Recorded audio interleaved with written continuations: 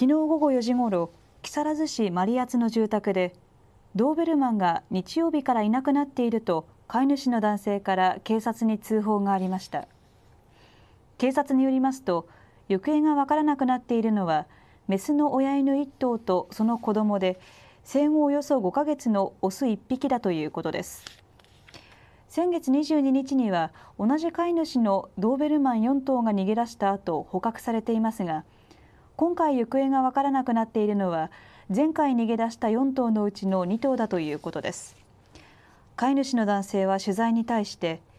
犬小屋の周囲にワイヤーを張り巡らせるなどして犬が逃げ出さないように対策はしていたと話しています。